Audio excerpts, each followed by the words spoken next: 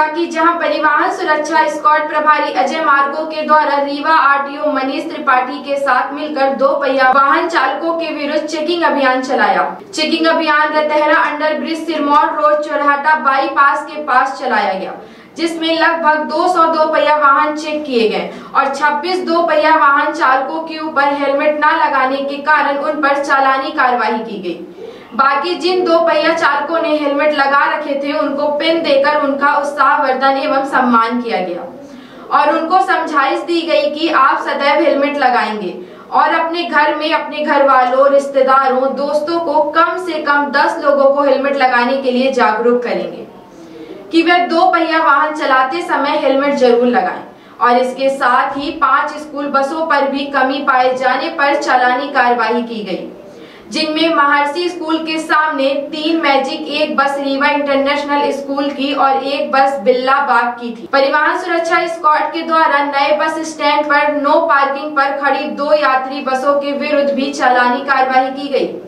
इसके साथ ही रीवा आरटीओ मनीष त्रिपाठी के द्वारा लोगों को यातायात नियमों का पालन करने एवं हेलमेट लगाने हेतु प्रेरित किया गया।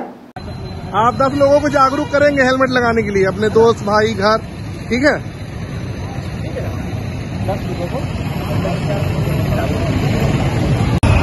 ये हेलमेट वालों को रोकिए ये दोनों लोग लगाए हेलमेट।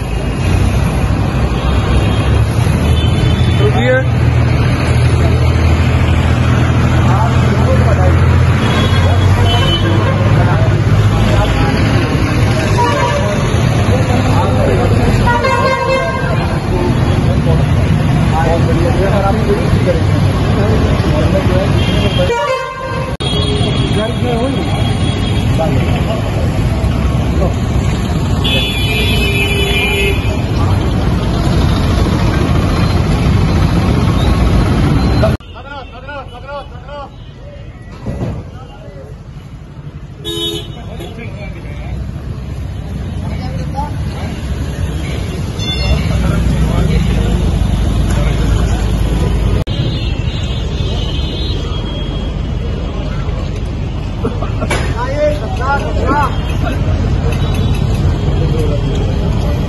लगा